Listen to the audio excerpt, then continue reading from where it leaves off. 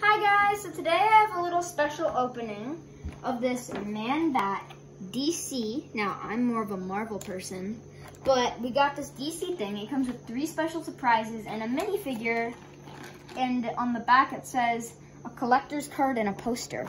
So let's open this thing up and see what this is all about. Okay, first, the minifigure.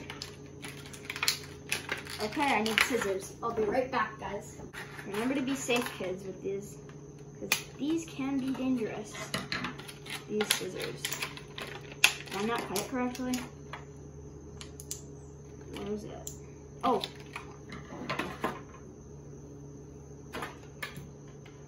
Yeah, there. Okay, here we go. We've got him out of his cage.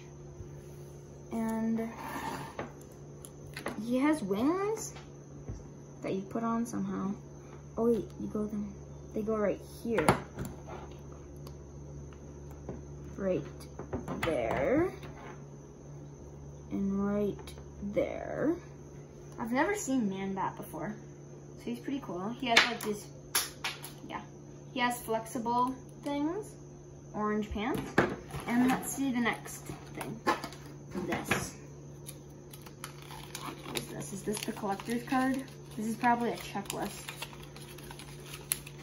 And this was exclusive at Target also. I think this is the collector's card. I don't know. Maybe. Oh, okay, now let's see what the three mystery accessories are.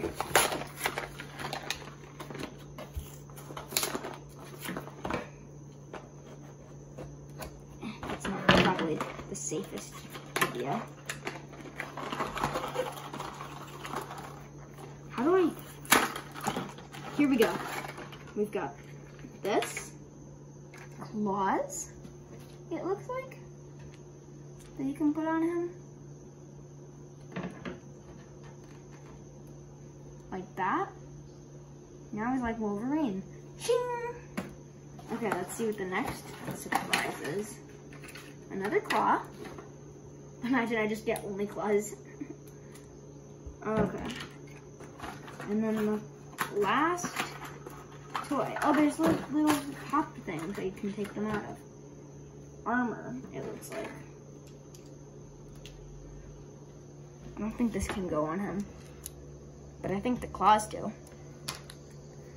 So, if we get um, five likes on this video, then we'll do another opening. They had a Batman also. Um, my mom's gonna try to put it on. So we need five likes for this next opening of Batman. Which that, the armor probably goes on Batman. Probably. Maybe.